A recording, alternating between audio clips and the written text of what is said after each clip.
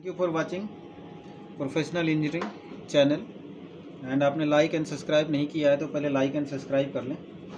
आज हम बात करेंगे कि जो टोपाज एक्स मशीन पे हमने प्रोग्रामिंग प्रोग्राम मैंने डाला है पार्ट वन उसका स्टेप्स वन किसी किसी को कन्फ्यूज़न हो रहा है। बहुत सारे कमेंट्स भी आए हुए हैं कि सर, उसमें पीसीबी को कैसे एडजस्ट करना है, जैसे एक्स वाई मूवमेंट में। तो हमें बेसिकली पीसीबी में क्या चाहिए होता है? ये हमारा एक पीसीबी है। और ये हमारा एक्स एक्सिस है वाई एक्सिस है। ठीक है? ये वाई होता है और ये एक्स एक्सिस है। ये हमारा ज़ीरो है ओरिजिन तो जब हम टोपाज एक्स में प्रोग्रामिंग करते हैं सॉरी टोपाज एक्स में जब हम प्रोग्रामिंग करते हैं तो उसमें हमें दो चीज़ें की ज़रूरत होती है। एक तो हमें चाहिए एक्स मूवमेंट और एक चाहिए हमें वाई और तीसरा चाहिए जेट इससे हम कन्वेयर बेल्ट को सेट करेंगे। और ये होता है हमारा एक्स डायरेक्शन में और एक होता है वाई डायरेक्शन में इस तरह से। तो हम सबसे पहले एक बर्नियर लेंगे, जिसको हम ज़ीरो पे सेट कर लेंगे और जो मशीन पे है वो बिल्कुल ज़ीरो ज़ीरो एम पे सेट होता है। तो हम यहाँ पे बर्नियर ऑन करेंगे और एम में यहाँ पे देख लेंगे कि एम में ही है। तो ये बेसिकली एम में है। एम में जाने के बाद क्या करेंगे?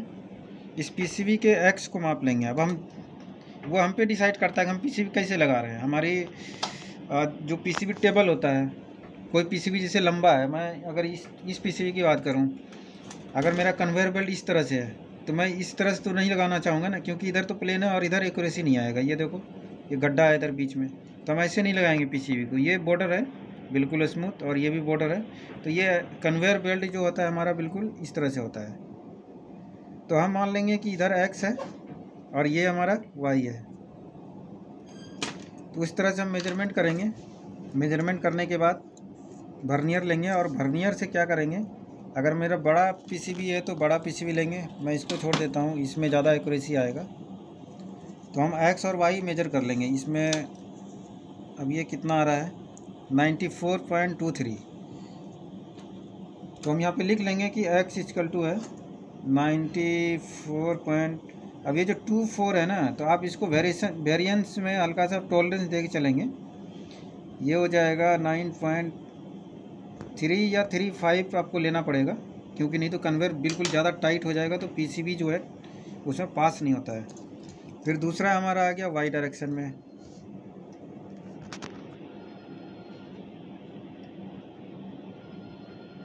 ये आ रहा है एक सौ one one six two seven तो हम यहाँ वाई भी मेंशन कर लेंगे। One one six two eight जो है कि हमारा ये एक्चुअल है। लेकिन इसमें थोड़ा सा टॉलरेंस देंगे हम। ये हो सकता है कि वन पॉइंट आपको वन सिक्स पॉइंट ये थ्री फाइव तक भी देना पड़े। ठीक है, नहीं तो ज़्यादा टाइट हो जाएगा तो कन्वेयर जो है, वो पीसीबी को ना बैंड कर देगा इस तरह से। तो हमें वो एडजस्ट कर लेना, हल्का सा टॉलरेंस लेके चलना। अब जो जैक जेड डायरेक्शन होता है जेड कैसे निकालेंगे? जेड एक्चुअली होता है इसका थिकनेस तो थिकनेस जो है कि हम यहाँ से मेजर करेंगे। जब हम कन्वेयर बेल्ट पे जाएँगे कन्वेयर के पोजीशन को सेट करने के लिए आप यहाँ पे थिकनेस देख रहे हैं वन पॉइंट ज़ीरो थ्री आ रहा है। तो यहाँ पे हम एक्चुअल जो आ रहा है, वो लिख लेंगे वन पॉइंट ज़ीरो थ्री और इसको भी टॉलरेंस देंगे वन पॉइंट वन तक देना पड़ेगा। और ये इसी कन्वेयर बेल्ट के अकॉर्डिंग जो है ना, जो हमारा सपोर्टर होता है, जो पीसीबी जो पीसीबी टेबल होता है, मान चलो कि ये पीसीबी ऐसे करके आया और यहाँ पे कन्वेयर लगा हुआ है तो जो हम थिकनेस देंगे ना तो हमारा जो इसमें पुशअप है, जो इसको पीसीबी को पकड़ता है, वो उतना ही दबाएगा, उससे ज़्यादा नहीं अगर आप कम दबाओगे, इसका थिकनेस कम रखोगे तो ये पीसीबी उसके अंदर हिलेगा ऐसे ऐसे। तो हमें एक्चुअल रखना है और वहाँ पे लाइव देखना है कि अगर मैंने वन पॉइंट ज़ीरो थ्री दिया दिया ज़्यादा टाइट हो रहा है क्या? पीसीबी टूट तो नहीं रहा, बैंड तो नहीं हो रहा है। अगर उससे फिर जाएँगे वन पॉइंट ज़ीरो वन तक जाओ। वहाँ देखो, अगर उसमें भी सेट नहीं हो रहा तो वन पॉइंट टू तक देखेंगे। उसके बाद हम ओरिजिन पे जाके एक्स को फिल करेंगे वाई को फिल करेंगे और कन्वेयर पे जाके जेड को फिल करेंगे। तो मुझे लग रहा है कि आपका डाउट क्लियर हो चुका होगा कि फ़र्स्ट टाइम पीसीबी को कैसे मेज़रमेंट करेंगे। अब इसमें पीसीबी कितना भी बड़ा हो सकता है टू एक्स भी हो सकता है हंड्रेड एक्स भी हो सकता है। अब प्रोग्रामिंग बिल्कुल सेम रहेगी, उसमें कोई चेंजेस नहीं है। Thank you for watching this video